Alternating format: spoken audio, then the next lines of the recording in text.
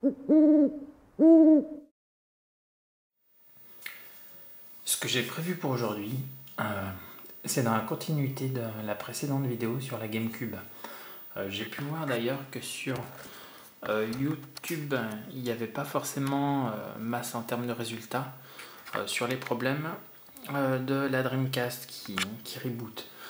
a priori, à chaque fois, on en revient vers ce problème d'alimentation, alimentation, alimentation, alimentation, etc., etc. Et à aucun moment on parle de, ce fameux capteur, alors que pourtant on sait euh, qu'il y a un problème avec le capteur de la Dreamcast.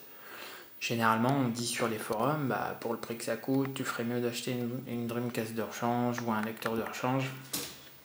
Mais le, enfin, voilà. problème, c'est que le prix des Dreamcast a tendance à augmenter aussi. Donc, euh, enfin, voilà, c'est pas forcément une solution, c'est plus euh, contourner le problème. Donc voilà, il n'y a pas grand résultat si je tape euh, reboot fixe à la place de, reset. Alors, on retourne sur la lime, la lime, la lime. Enfin voilà, la plupart du temps c'est ça. je ne suis pas allé dans le détail de certaines vidéos, mais voilà, en général c'est ça. faut nettoyer euh, les connecteurs de la lime, machin et tout le bordel. Il y a une vidéo à moi que j'avais fait il y a quelques temps qu'il faudrait que je refasse manière un petit peu plus exhaustive les problèmes de lecture du GDROM, etc. etc. Euh, donc on va regarder un autre tour le capteur de la Dreamcast. Donc j'en ai une ici qui a un problème de reboot, euh, pas seulement parce que c'est marqué dessus, euh, bah, je vais vous, vous, montrer, ça va être peut-être le plus judicieux. comment je procède? Elle a un problème au niveau de la LED qui s'allume pas, mais je vous garantis que c'est bien celle-là.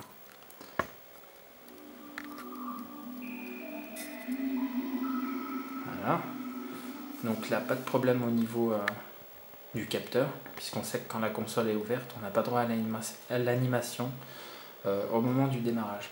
Maintenant, comment, enfin, une des manières de s'apercevoir que la console un problème de reboot, c'est en appuyant simplement sur le go, une pression euh, pas bourrine non plus, mais plutôt ferme. Et voilà, il va relancer la lecture alors que ça devrait pas arriver quand. Alors, attendez, j'en ai un là quand le contact est, euh, est, abaissé, il doit être abaissé et c'est pas une différence de pression qui devrait l'abaisser un petit peu plus. On devrait vraiment avoir le contact. Et on peut s'en rendre compte aussi, enfin je, vais appliquer, je peux appliquer une pression et il peut essayer d'aller redétecter euh, la console alors que pourtant elle est fermée. Attendez, je fais une pression, une autre pression. Ouais, c'est pas des trucs bien normaux. Ah bah là, il le détectait alors que pourtant, euh, elle était déjà fermée. Si je le fais comme ça, il la détecte. Je ne l'ai pas en fichier à fond. Théoriquement, le levier doit, être suffisamment euh, baissé pour euh, pour pas avoir à être baissé encore pour relancer une détection. Si je le ferme complètement, voilà, il me relance une détection. Ce qui est, enfin voilà, pas normal en fait.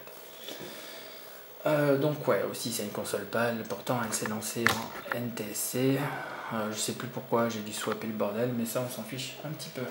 Bah, ce qu'on va faire, on va faire comme sur la Gamecube, on va démonter et on va jeter un oeil au capteur qui a priori est différent de celui de la Gamecube. Enfin j'ai regardé vite fait, ça avait l'air différent. Euh, pour éviter tout troll au sujet de ouais ta console tu l'as pas vissé, il y a un faux contact derrière, bah j'ai vissé quand même la partie qui est la plus proche du capteur. Déjà, je vais retirer cette vis et on va enlever le, lecteur leader. Je vais déjà, commencer par brancher mon fer.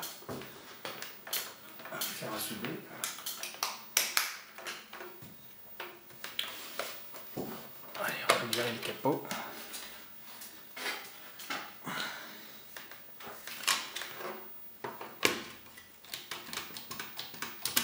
Virer le lecteur. Voilà. Et la console, je vais la poser ici. On va se virer la manette aussi. Donc là, on a le lecteur. Ah, donc je l'avais acheté euh, en tant que console qui reboot. Le précédent propriétaire y avait installé ça. Euh, et j'ai testé le lecteur dans une autre console que j'ai pas sous la main, qui a le Permanent Fix, que j'ai déjà filmé dans une autre vidéo, qui concerne justement l'alimentation. Donc le problème vient bien de là, et de toute façon, en faisant nos petits tests avec la pression sur le capot, on s'en est bien rendu compte. donc voilà, j'avais noté reboot. Mais le plus simple, ça va être de, la démonter. Vous voyez qu'il n'a pas encore été démonté. Ces parties-là ne sont pas percées. Enfin, a priori, il n'a pas été démonté. À moins que ça ait été super bien décollé, super bien recollé. Bon, on va voir. Euh, il me faut une galette pour protéger la lentille. J'en ai ici. Hop. Voilà. Là aussi, quand même, ce que je vais faire, je vais d'abord désengager le, câble. C'est quand même mieux que j'applique euh, les conseils que je donne. Voilà. Ensuite, on va faire redescendre la lentille grâce au Worm Snake. Worm Snake, c'est euh, l'espèce de, de rail qui permet de faire euh, bouger la lentille de bas en haut.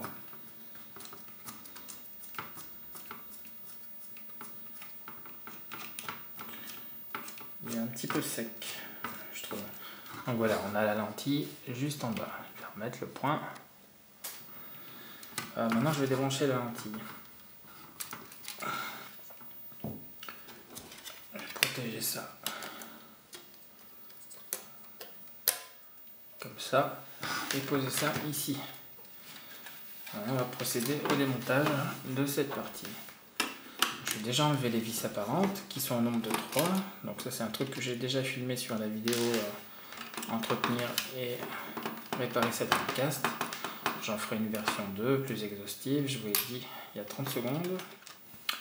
Donc c'est un capteur qui a l'air quand même différent de celui de, la GameCube qu'on a vu dans la vidéo d'avant, puisqu'il est retenu déjà par 4, euh, par quatre soutures.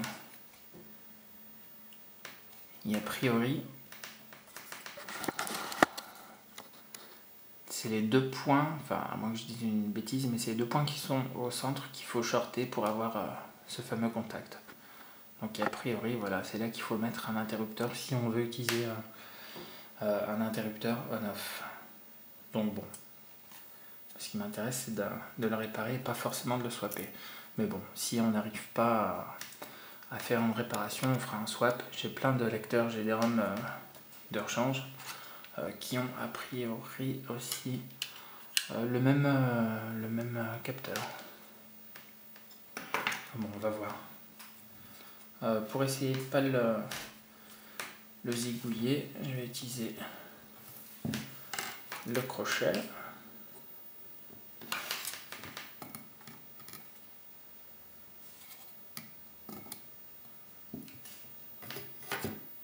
Comme ça, je ma pompe à dessouder.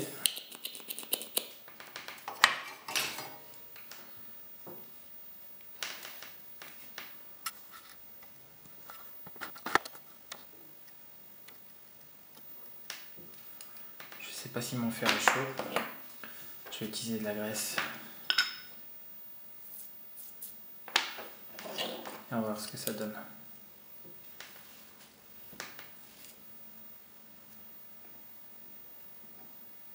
Le mieux ça va être que je me mette à plat en fait. Mais il y a putain de capteur. Euh... Allez, on va faire au crochet.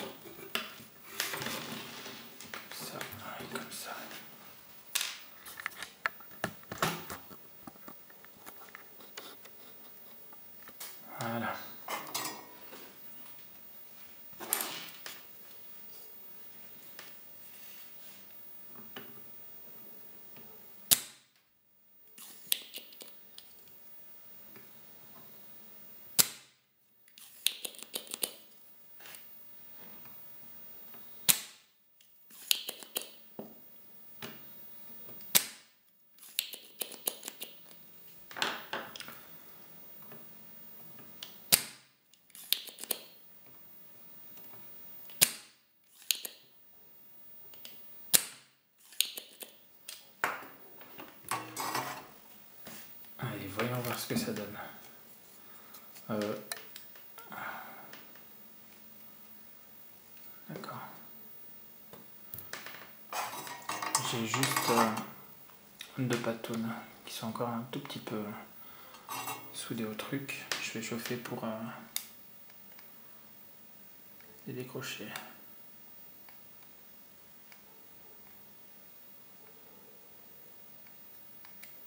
Voilà. Alors, pour le faire.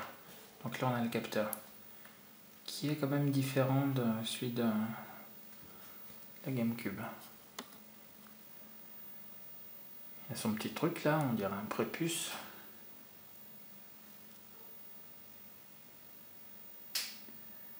Et pour le déclipser, ça va pas être aussi simple que sur la, GameCube.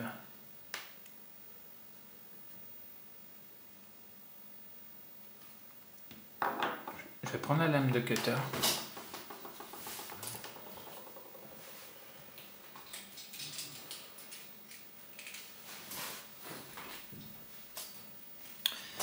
Je vais essayer de pas me trancher un doigt.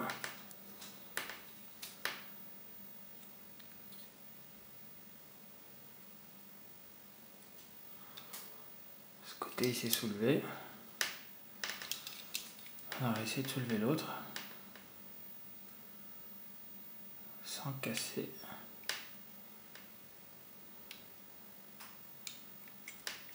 Ah, il remonte tout seul. Ah donc je peux plus le, virer parce qu'il y a ce fameux espèce de prépuce. Donc on voit euh, Je vais, je vais, je vais poser ça là.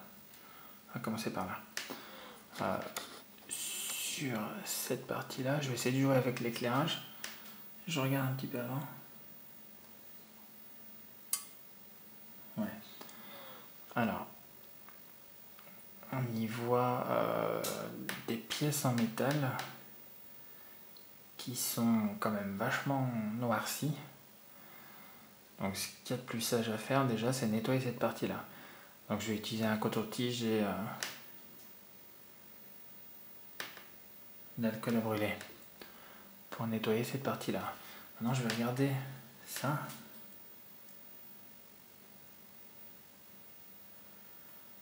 Et en fait, on voit euh, Là, c'est une patoune euh, d'un ressort et au-dessus, il y en a une autre. C'est légèrement tordu, à moins que ce soit fait volontairement.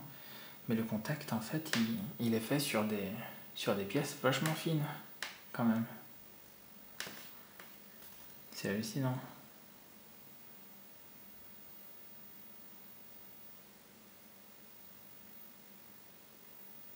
C'est hallucinant, ouais. Donc ouais, c'est plutôt plutôt strange. C'est pas le meilleur des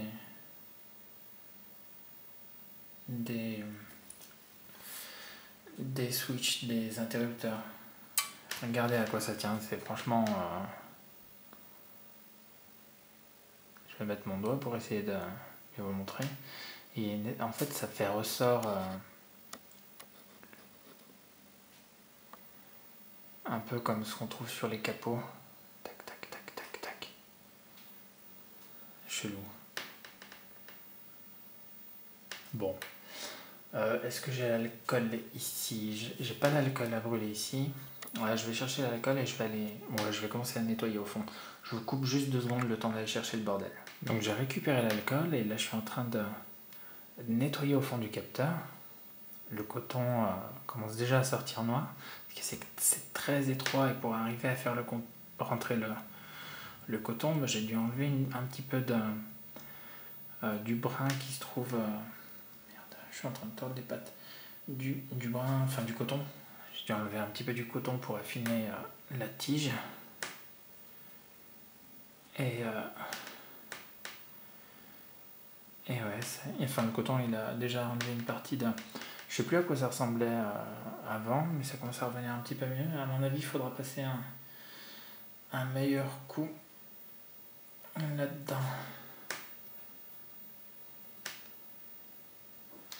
Vais prendre mon deuxième, euh, l'autre côté du coton.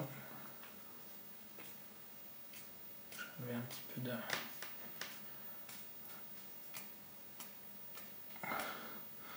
à l'ancienne avec les doigts. Hein. Voilà. Donc là, il est bien blanc.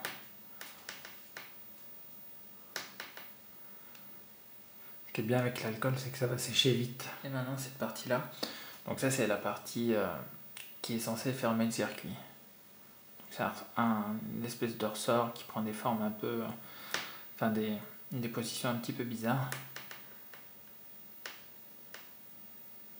Je vais y passer juste un tout petit. Ah bah, il m'est resté dans les doigts. comme ça, ça vous permet de le voir un petit peu mieux. Euh, comment c'était placé? Donc par chance, on voit... Euh, ouais. Euh, par chance, on voit à peu près comment il fallait le positionner, puisque le sort a un espèce de rond un peu plus gros que l'autre, et là c'est la même chose. je vais le replacer à l'envers. quoi que ça va me permettre de, de mieux le nettoyer. Je vais les faire quasiment tremper. Avec la dose et on va le, scrubber un peu pour... Euh, ouais, bah ça y est, perdu. Bon, bah écoutez, je mets sur pause, j'essaie de le retrouver et je vous reprends. Bah, figurez-vous que je viens d'avoir une chance de cocu, de le retrouver. Il est juste là. Et pour euh, vous montrer, ouais, je suis même pas allé piocher dans, dans celui-là. Je pensais pas le retrouver. Je m'étais dit, oh putain, je vais devoir, euh, je vais devoir en démonter un autre. Donc ouais, tout ça pour dire, bah, faites gaffe quand vous démontez euh, le switch, enfin si vous comptez le, le démonter parce que moi vous risquez de, le paumer. Donc là je vais, je vais y appliquer une bonne... Je l'ai posé sur la table. Et je vais y appliquer une bonne pression avec mon index. Et le frotter un petit peu. Vraiment pas trop. J'ai l'impression qu'il a pris une couleur un peu plus... Euh, un peu plus cuivrée. Moins que ce soit qu'une impression. Ouais, c'est n'importe Quoique. Mon coton, il est déjà un petit peu. Un petit peu gris. Bon. On va déjà tester comme ça. Déjà, si j'arrive à le remonter, c'est cool. On va pas appuyer trop fort. Voilà, donc là, je l'ai remis dedans. Donc là, priori, il y a un sens qui devrait être celui-ci. Donc si vous voyez bien euh, la tige, dans ma main droite, il y a deux tiges. La tige du bas va faire contact avec ça, et la tige du haut avec ça, et à ce moment-là, on a le contact qui se fait. Donc, essayer de la reposer. C'est le bon sens.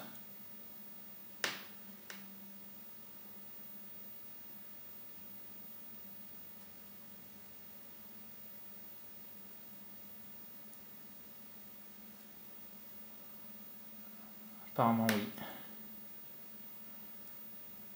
Allez, referme-toi.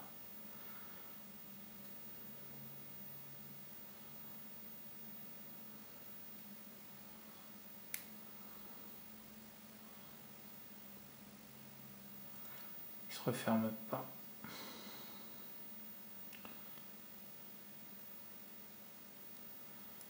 Bon, c'est peut-être que je me suis planté de côté. On va tenter. Ouais, c'était ça. Donc là, j'ai bien remis le switch. C'est quand même petit et moi j'ai des gros doigts donc.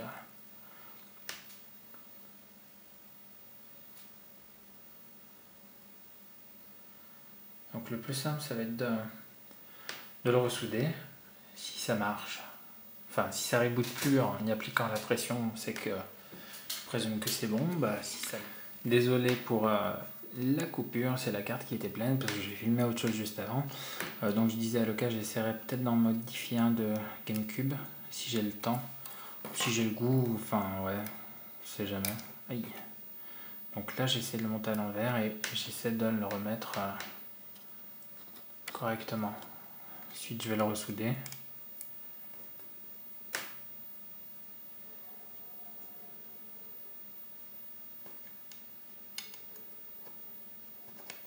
Donc là on n'y voyait pas sur euh, YouTube, il n'y a, pas de, a pas beaucoup de contenu au niveau de ce switch.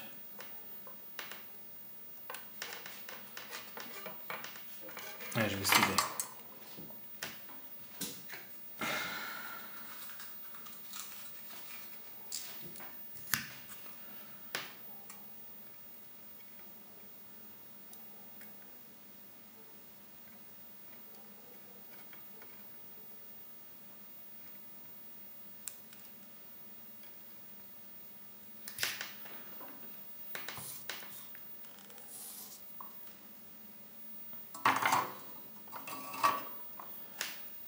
Euh, ce que je peux faire aussi, c'est récupérer le... que je vais galérer au multimètre. Et puis c'est plus sympa de tester avec, euh, avec la console. Allez, on va se remonter tout ça vite fait.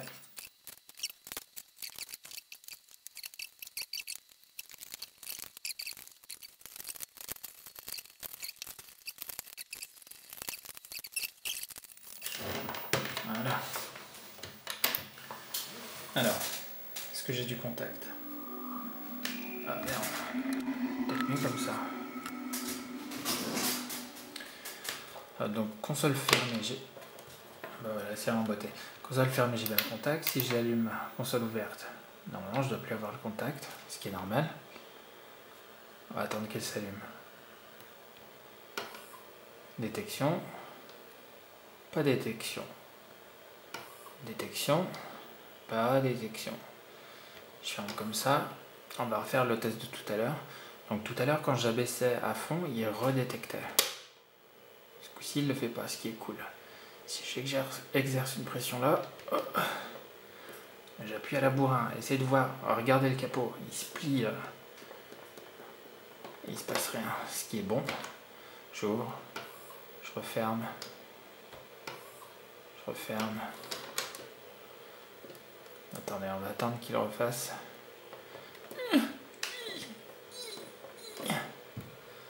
Donc voilà. Un nettoyage aura suffi. On va se refaire le petit test comme ça. Détection. Euh, pourquoi je fais comme ça? Parce qu'il y en a plein qui disaient euh, que c'était une solution pour pallier. Euh, c'était de le mettre comme ça et foutre par-dessus un jeu pour. Parce que quand il le fermait à fond, ça ne détectait plus. Donc. Et là, je réenclenche. Il réenclenche pas, ça veut dire que le contact est toujours en cours et ce qui est bon en fait. Je rouvre, je referme. Ok, j'ouvre. Euh, comment tester un jeu, c'est pas très. De toute façon, il faudra que moi, euh, je la teste sur la durée. Pour en être sûr. Il n'y a que ça comme. Euh, enfin, pour savoir. Et ouais, ça fait plutôt plaisir quoi. C'était tout bon, suffisait de nettoyer. Essayer de mettre des petites pichenettes quand même. Ça me le faisait passer un temps, j'y mettais des pichenettes et elles rebootaient. J'ai des branchements fer à souder parce que j'en aurais plus besoin. Et voilà. Bon bah ça fait plutôt plaisir. Donc euh, pour récapituler, c'est pas le même euh, capteur qu'on a sur euh, GameCube, ce qui est dommage, parce que sinon on aurait pu en taxer un à la GameCube et le mettre ici. Celui de la GameCube il a que deux, deux broches alors que celui de la Dreamcast il en a quatre. et puis on a vu aussi qu'à l'intérieur c'était fait différemment. Donc voilà, c'est déjà compromis pour faire un remplacement. Par contre, euh, ce qui est sûr qu'on peut faire, c'est le remplacer par euh, un autre capteur de Dreamcast qui elle fonctionne. Enfin, dont le capteur fonctionne, elle peut être HS, mais tant que le capteur il est bon, euh, comme celle-ci, typiquement c'est juste la lentille. donc là finalement j'avais fait une petite blague un peu humour noir. Je me suis dit qu'en fait ça serait peut-être euh, inapproprié, donc, euh, donc elle sera coupée au montage. donc je disais, ouais, typiquement, quand on a un problème avec un lecteur, c'est rarement deux trucs en même temps. Donc ouais, si vous avez des pièces détachées, essayez d'en taxer un, taxer un capteur et de le mettre à la place de celui-ci. Il y a plusieurs types de, capteurs différents, donc après, bah, il, faut, essayer. Quoi. Si c'est pour souder, vous pouvez toujours tenter. Normalement, il n'y aura pas de, il y aura pas de souci. Euh, en ce qui concerne euh, le petit truc qui a été mis sur celle-ci et qui est bah, souvent mis sur d'autres, euh, bah, c'est un peu comme un pansement, mais moi je trouve pas que ça répare vraiment le, le problème. C'est comme mettre un bandage sur, sur un bras cassé. bah, ça peut peut-être soulager du fait de la compression, mais mais voilà, ça va pas réparer le, bras pété. Même si c'est quand même judicieux et que ça peut marcher, si ça marche, bah, je serais tenté de, dire tant mieux, mais c'est toujours bien quand même d'aller nettoyer dedans. Et je pense que j'aurais pu le nettoyer un petit peu mieux, un petit peu plus. Ça aurait été plus sympa. Euh, pour ceux qui n'ont pas de, fer à souder, euh, je pense que c'est quand même possible d'aller le, nettoyer sans, sans fer à souder. Ici, j'ai pris un autre lecteur qui est HS et il n'est pas monté sur les côtés euh, comme l'autre, en fait. Les, braquettes ils sont situées à l'avant. Et à mon avis, avec une aiguille, on doit pouvoir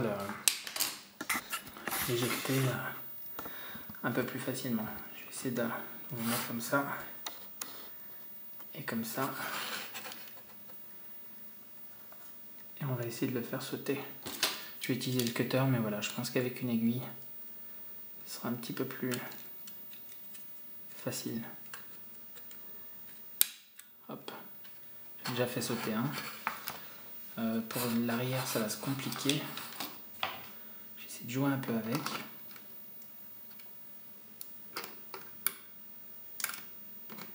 Sans le péter. C'est mieux.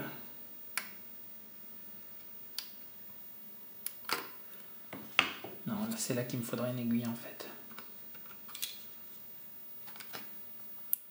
Celui-là, je vais pas essayer plus. Je vais en prendre un autre qui est HS. J'en ai plein des HS. Euh, pareil, il est retenu par l'avant. Et par l'arrière, ça va être encore plus dur. Hmm, c'est dommage que je puisse... Ah, merde. Dommage que je puisse pas tester comme ça. J'ai pas d'aiguille sous la main. Donc là devant il a sauté. J'ai repris celui d'avant.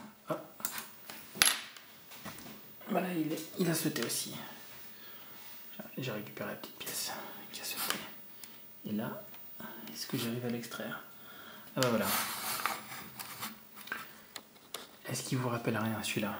C'est ni plus ni moins que le même système qu'on avait sur euh, la GameCube. Qui doit être beaucoup plus euh, résistant. Je sais pas si vous arriverez à voir comme ça en me laissant un fichier. Donc de la même façon, il fait un espèce de, de bras métallique qui se trouve là. Il est fixé par un point qui se trouve ici, que vous ne verrez pas à cause de l'éclairage. Et à l'intérieur, on retrouve euh, les deux pistes qui vont euh, être shortées pour faire contact en fait. Bah, je pense que là aussi, on peut typiquement avec, euh, bah, s'il existe des, des cotons-tiges un peu plus fins, bah, ça serait l'idéal ou sinon prendre un linge, un linge, le foutre au bout d'un cure-dent et aller, et aller nettoyer euh, là-bas dedans. Ah bah, je fais sauter euh, la petite partie en métal qui se trouve juste là. Allez, problème de point. Ouais, c'est pas grave. Maintenant, je vais essayer de la remettre.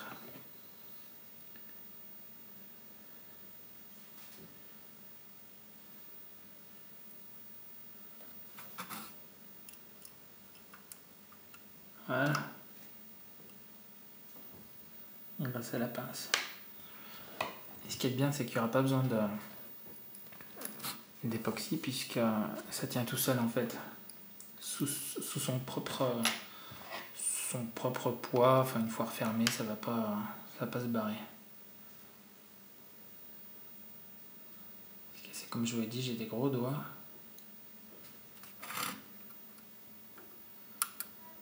Voilà. Donc là, il est remis. Non, il n'est pas remis. Et on va faire la conclusion.